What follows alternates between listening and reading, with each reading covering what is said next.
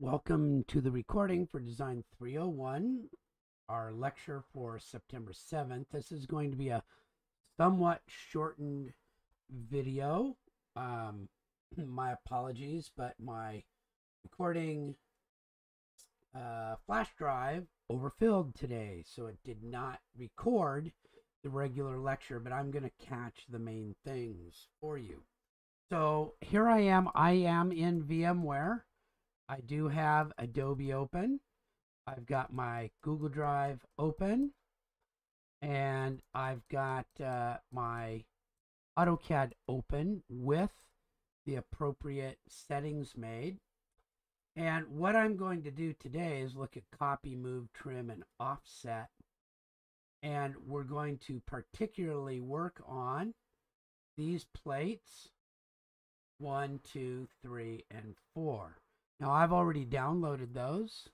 So I'm going to go find those. Those are on my U drive in VMware. And I've got a uh, folder for them. And here they are, week three. So I can look at that and voila, there it is. That's what I'm going to draw. Now to do this, I'm going to notice that if this was a solid grid in all directions, I could quickly make a grid and then get rid of the parts that I don't want. So that's the process I'm going to do. I'm going to make a grid and then get rid of what I don't want. So there we go. So I can minimize this. I can make this a little bit smaller over here.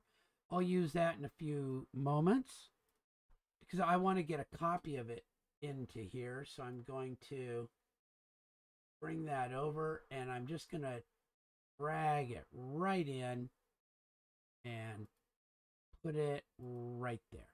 So now I've got it in my drawing and it's easy to see. So the first thing I notice is that I do have my rectangle to draw. It starts at 0, 0 and goes to 10, comma 7.5. So I'm going to do that. I'm going to use the rectangle command. I'm going to start at 0, comma 0, enter. That locks in the first point, 10, comma 7.75. Enter. That locks in my second point. Now here's your first chance to do the move command. There's lots of ways to do it, but I'm going to do it by clicking on the move icon, move, selecting the item. Now, when I select the item, if I hold the left mouse button down, it sort of makes this lasso weird thing. Okay, if I want it to go square, I'll click the left button and let go, and I'm moving the mouse without my finger on the button, and then I will click. And once I've selected my object, I can type enter to make sure it knows that I've got them all. And I can pick a spot on the object, click on it, let it go, and then bring it over close, click. So now I'm over here where I can go. And it said, says I can start anywhere, but I've got a line that's 4.18 long, and then I can copy, copy, copy, copy, copy at 0.38. So let me do that. I'm going to start a line here. Click to start. 4.18 type enter. And enter again stops the command. Now I'll use the copy button. Copy. Asks me to select the objects. Click. Enter to tell it I'm done clicking. Take a spot and move it up 0.38.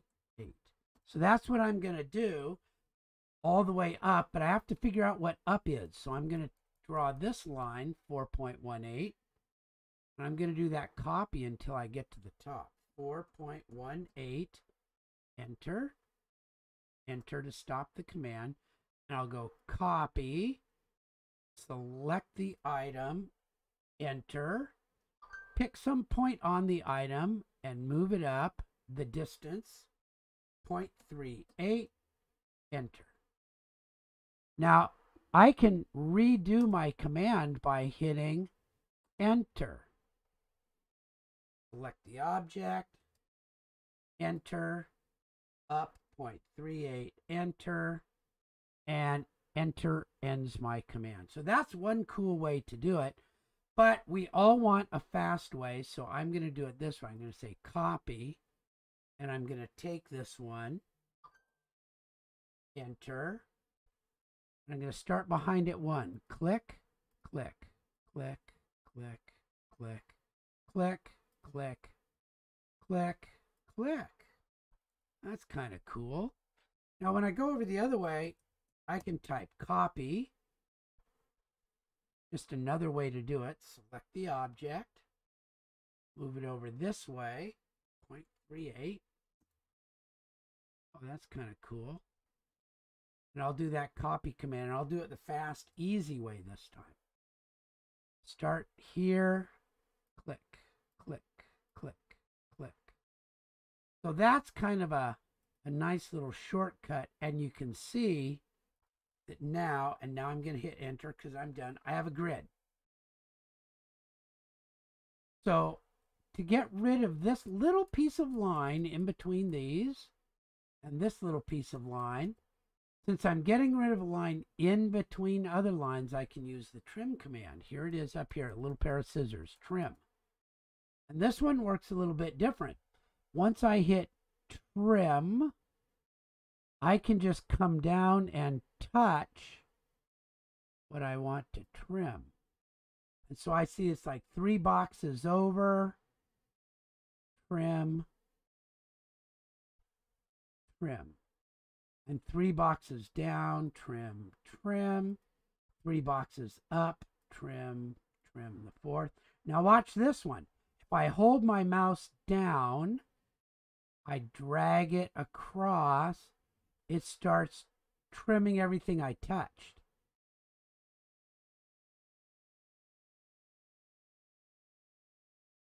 Enter. Now here's kind of a bummer. If I found I made a mistake and I do Control Z or undo, it undid all of them.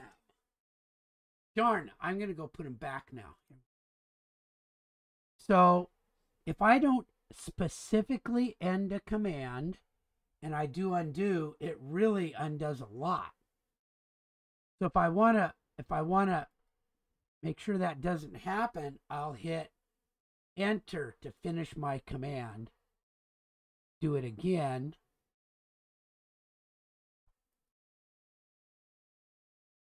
Enter to finish my command. Now when I do control Z undo, it only undoes the last one. I'm going to put it back. And so now I'm just, this is the process for this one. I'm not going to do it all. I'm going to do some of it, but I just have to look at this drawing and start taking away pieces that look like they don't belong.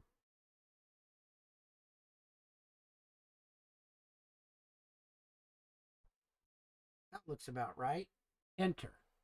This little thing right here goes around that little corner and over looks like this little thing right here around the corner and over. Your eyes just have to be good at this. Now I can hold it down and hold it down. And I think I need to hold down. I have that right. It goes down and around down and around and over. So I better hit enter so I don't mess it up. Now I just hit enter again to get it to repeat my command. My mouse is down, let go. Mouse is down, let go. Mouse is down, let go. So that's how you do it, and you just keep going around. So I'll save this now. Save as. I have to go find my spot.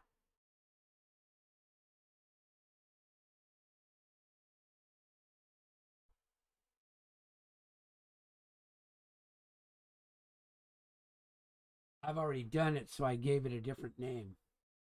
Now to put it into my my portfolio, I'm going to snip. And I have to get the snip that's in my, I don't have to, but I'm taking my snip that's in my VMware. New. And let's try to get the whole thing. And I notice I got that, that my cursor in there. I'm going to do it again. I also remember how I go right click line weights. I set it for inches and then I make it a little darker.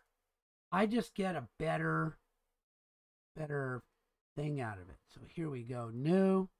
That look. Well, I still got one in there. Now it's gone. Sometimes you have to do it a few times. File. Save as. Find my good spot for it on my U drive.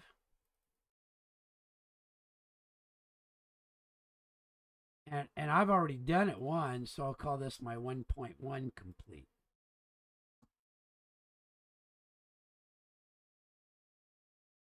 So that did a little bit. It it told you how to do some of those things. Now, I told you about the undo and you have to finish a command all the way or it undoes everything and and I talked about how to how to hold the mouse down to make the little lasso or click, let it go, click to do the other one.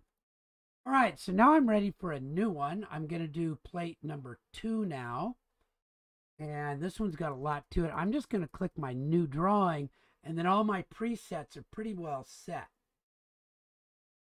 Okay, so now I can bring this up, and I can bring plate two in. I just drag it and let it go. There we go. And I have my 0, 0 to 10.75 again. So let me do that. From 0, comma 0, enter. 10, comma 7.75. That's 10 sideways, 7.75 up. I'll do my... Now, the move command is cool. I can highlight and then type M for move. That's another way to do it. It's not quite so careful about what order you have to go in. You can do it lots of different ways.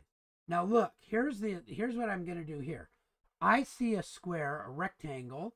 It's 2.5 square, and there's four of them. One, two, three, four. And each of them has a square inside of it that is 0.5 to the inside. So I'm going to make a square, and I'm going to start it right here, 2.2, and it's 2.5 on a side. And then I'm going to do something called offset, which just makes a copy of it half an inch in. And then I'll copy, move, copy, move. You'll see what happens. So here I go.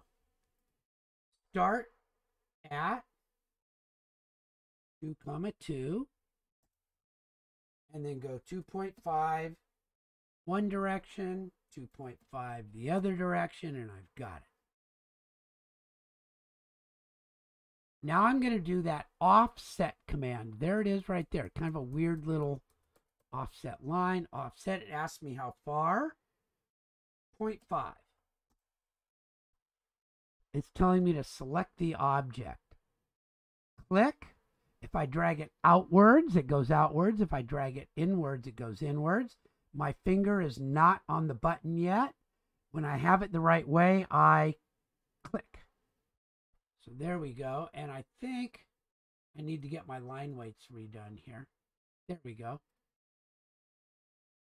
Now look, I can do the move command and all that kind of stuff, but I think it's easier to copy it from corner to corner and then move it what it says. That way I don't have to figure anything out. So I'm going to do a copy, click, let go, click, select the object. Yeah, I've got two objects now, but I'm done, enter. And I want this corner to line up at the other corner. Now I can move it exactly how far it says. Click, select, click, enter, and I can be anywhere just to move it over 0.5. Now I can do that whole process again.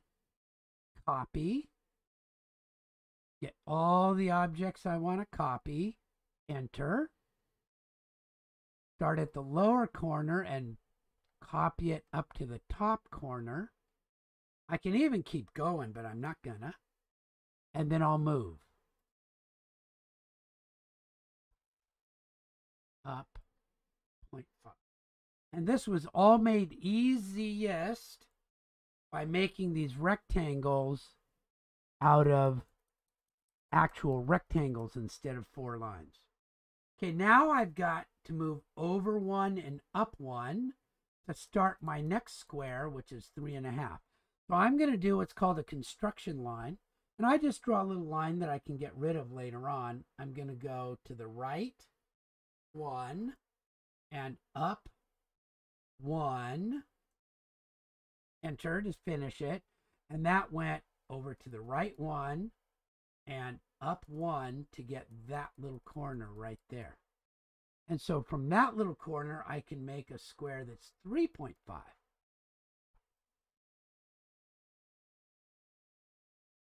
Three point five, comma three point five. And I can do the offset on that one, which is also 0.5. Click on it and make it come in. Now here's the cool thing about I can erase these and it doesn't leave a schmeary mark. That's kind of nice. Now the last thing is to to just look at these and see where there's lines crossing where I have to get rid of them. So trim, I think it's those two and those two. I got rid of those two and I got rid of those two. So I'm going to press enter because I like it. I'll press enter to do it again. And I need the two up and down and up and down. Up and down and up and down. Enter so that I can start a new one again. These ones go sideways. So I hold my mouse button down, drag it over, let it go. Enter. Hold my mouse button down, drag it up. Hold my mouse button down, drag it up. There we go. Now I've got that one, so I better save this one too. Save as two, one. And take my snip and save it.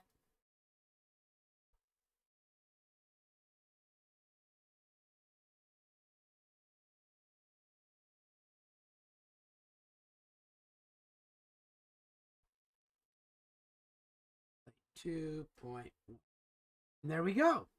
That's what we covered today in lab. I'll get this posted for you shortly. Just as a note, that took me 18 minutes to do the whole thing. And so I usually figure it's going to take you four or five times. So it might take you an hour to an hour and a half to do both of these, I hope. Uh, that's what we're that's what we're shooting for.